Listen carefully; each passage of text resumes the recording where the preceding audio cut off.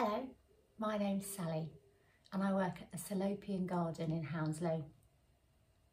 And today I'm going to talk to you about plants and all the different parts of a plant and how brilliant plants are. I've got lots of plants on my table here to show you. These ones are little tiny seeds just starting to grow.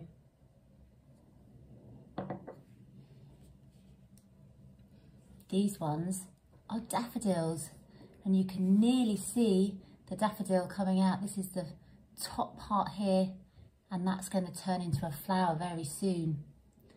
This one is my favourite at the moment. This is a little crocus and can you see its pointy leaves and its little yellow flowers. All plants have the same parts. They all have lovely leaves and these can be different shapes.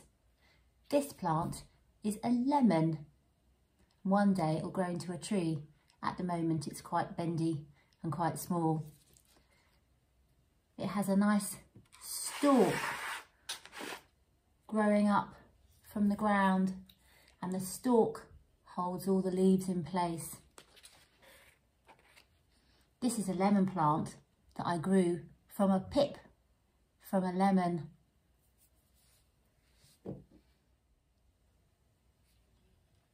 This plant has round patterned leaves and you can see the flowers just poking through.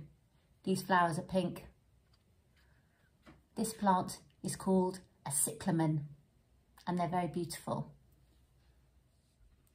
This plant is called a spider plant. Can you see why? and it has very long leaves. This plant, like all plants, has lovely roots.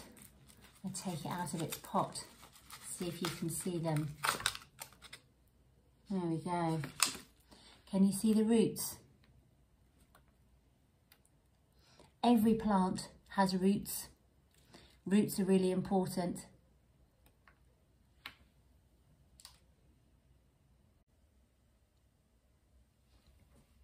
Roots are the really important part of a plant because they take in the water. They grow in the ground. You can see they've got little tiny roots here and they spread out in the soil and they absorb the water and it goes up into the leaves.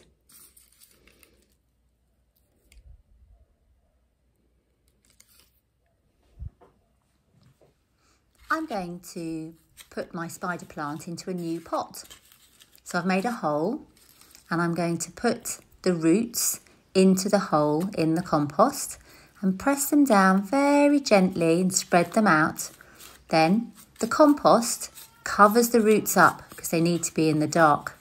Then you press the compost gently and hold the plant in place and then the roots will take up the water and keep the plant nice and stable.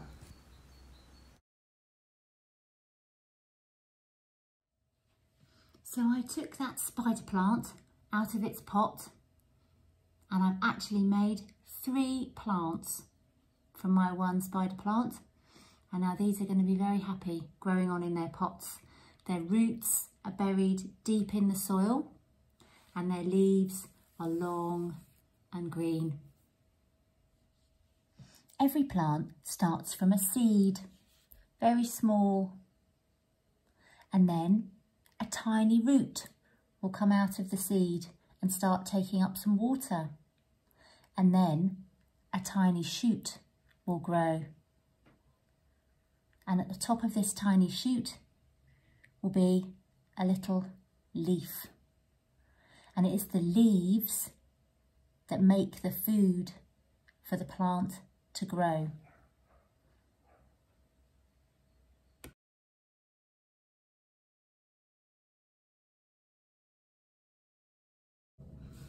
These are all the important words that you need to know when you're looking at plants. Oh, but they're all jumbled up. Can you tell what they are?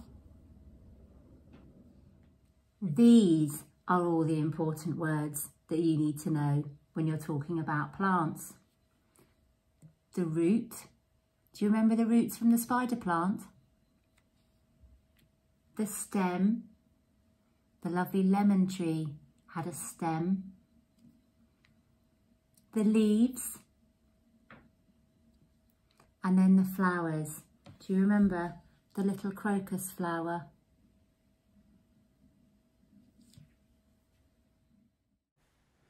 Flowers are really colourful and they attract bees to pollinate the flowers. And when a flower has been pollinated, it can make a seed and then the process of growing can begin again.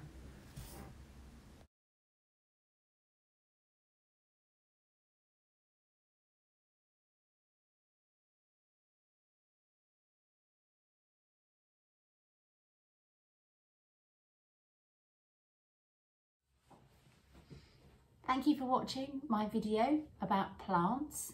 Remember the words, roots and shoots, stems, leaves, and then flowers. Bye-bye. Hopefully see you at the Salopian Garden.